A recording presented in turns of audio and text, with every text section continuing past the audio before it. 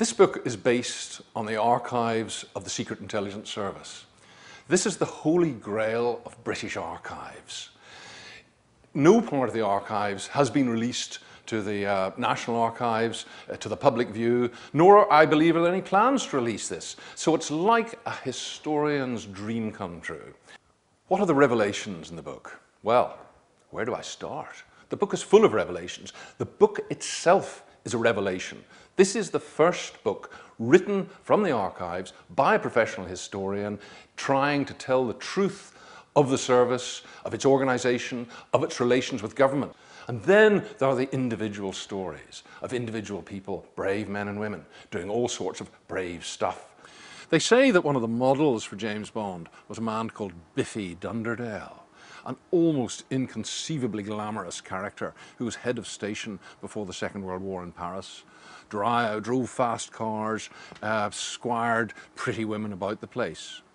And we know for a fact that Ian Fleming knew Biffy Dunderdale. And Biffy Dunderdale claimed, these claims are easily made, long afterwards, that he kept seeing elements of stories he had told Fleming in the Ian Fleming books. Unfortunately, he didn't give precise details, so we all have to search for them as best we can. And then there's Kim Philby. Now the service doesn't much like Kim Philby, and with reason.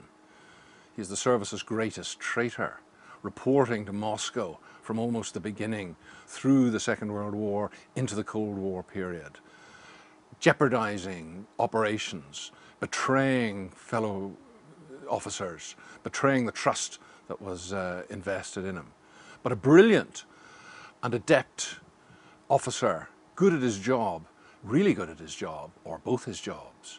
And when you come across a document generated by Philby, signed by Philby, there is a particular resonance to it. There's a wonderful story about uh, another officer who's a left-winger. Um, he doesn't hide it, uh, and he wants to leave the service at the end of the war. And there's a bit of suspicion that he might be a Soviet agent. We better check up on this guy. And it goes to Philby, who is in part of the security section haha, um, of, the, of the service at the time. And Philby looks at this man and he says, well, he has pretty bad friends, uh, poor choice of friends, this fellow. Uh, but he wants to leave the service. And I can categorically say he isn't a Soviet agent, because if he were a Soviet agent, because he had a job in the service, the Soviets wouldn't let him leave. Well, Philby would know. And who's the most interesting new figure in the book? Well, I think it's probably Agent Ecclesiastic. Because we can't name agents, I can't tell you very much about her. But she worked in Lisbon during the war. And she was run by a man called Klop Ustinov, the actor Peter Ustinov's father. And Klop Ustinov was a flirtatious fellow. And his case officer reports on Ecclesiastic are a model of um, the stylish um, male view of this classic female agent. Her womanly charms work to her advantage. She knows very well um, what they are and she rather enjoys deploying them, he said. Obviously he fancied her. Uh, yet this is an agent who supplied disinformation valuably to the German intelligence people in, in, in Lisbon. Uh, and she comes out of the, uh, uh, leaps out of the pages as a real kind of person. And there's a picture of her too, and we have that in the book. The only reason we have it is that her German uh, lover took photographs of her, taking photographs of British documents she had stolen from the office she worked in, which was a, an air liaison office in Lisbon. And he took these photographs as insurance. He said to her, I've taken these photographs. If you shot me, if you betray me, I have these as evidence. And this is evidence that you're a spy.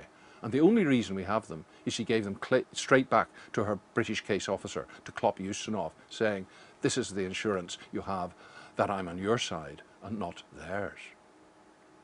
This is the single most important book on the Secret Intelligence Service ever.